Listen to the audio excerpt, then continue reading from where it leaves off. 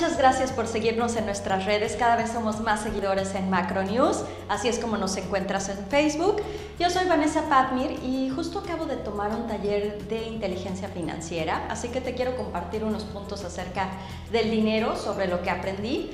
Y bueno, creo que es muy oportuno siendo septiembre uno de los meses más complicados para la mayoría en esta cuestión. Número uno, el dinero es un resultado, es decir, no es causa, es resultado, es parte de lo que hacemos, de nuestras decisiones, de nuestras creencias. Muchas veces intentamos cambiar al dinero, cambiar nuestro resultado, pero en realidad lo que tenemos que cambiar es el proceso, lo previo. Y entonces por ello es también por lo que debemos privilegiar el proceso, no el resultado. Muchas veces elegimos un trabajo o elegimos una carrera pensando en si vamos a tener éxito financiero o no.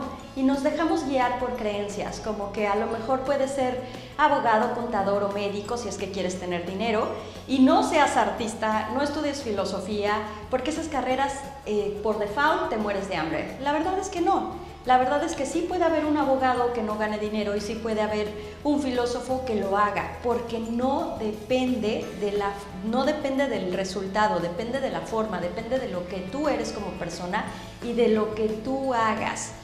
Entonces, de repente podemos elegir trabajos que a lo mejor no nos gustan, que a lo mejor nos incomodan o que a lo mejor para lo que somos buenos, pero que realmente no nos apasionan solo por la cantidad de dinero que ganamos ahí.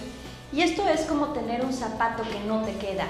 Es tener una incomodidad constante que a lo mejor te puedes ir acostumbrando a ella, pero que eventualmente te pasa la factura con alguna enfermedad, con alguna condición, con la acumulación de estrés y entonces todo lo que ganaste a lo mejor se va en cuentas médicas o se va en otras situaciones que no atendiste porque tenías una incomodidad cuando la mejor manera de hacer dinero es haciendo lo que realmente te gusta, lo que te apasiona, el zapato a la medida.